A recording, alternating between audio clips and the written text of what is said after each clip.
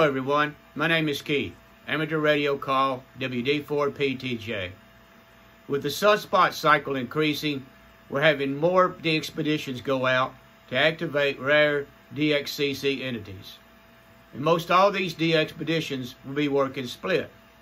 So today we're going to talk about split operation. What is split? How do I work split? And when should I work split?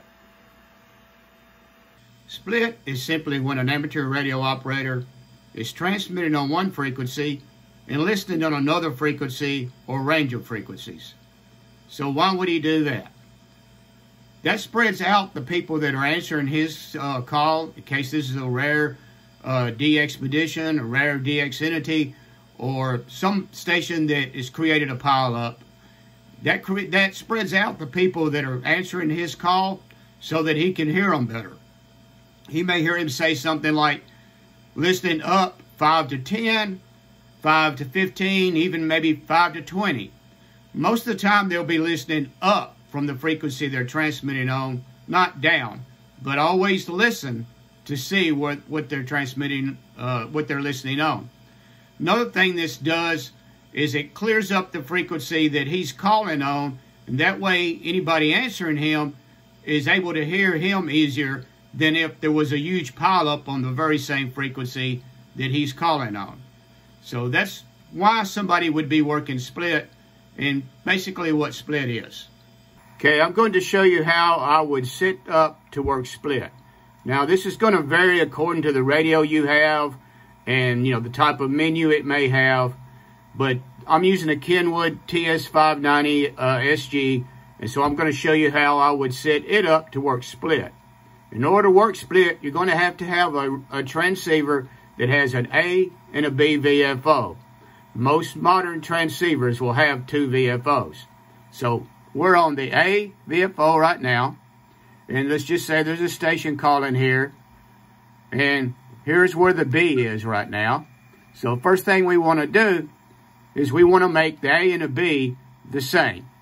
So I'm going to hit this that will make them both the same. Okay, so I'm going to take, so let's just say that he says he's listening 5 to 10 up. So I'm on the BFO, BVFO now. I'm going to tune up. Let's just say about 7. Okay? I'm going to go back to A.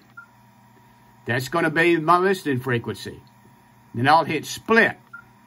You'll see it says split now. Okay, like I said, we're on the dummy load.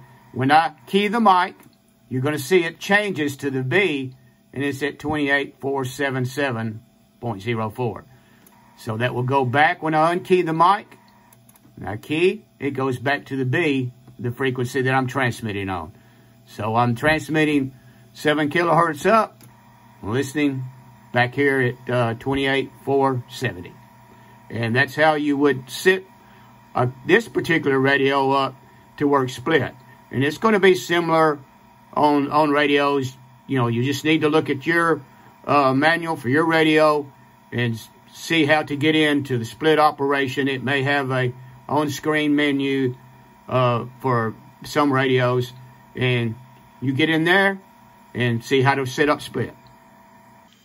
I have a short clip here of me working the Tango November 8 Kilo DXpedition in the Congo uh, using split.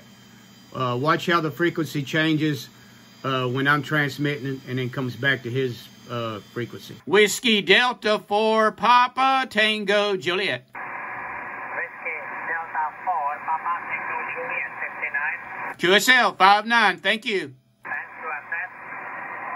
When you're getting ready to work a DX station, always listen to see if he's saying up, to see if he's working split. It's always a good idea before you transmit to listen and see what's going on.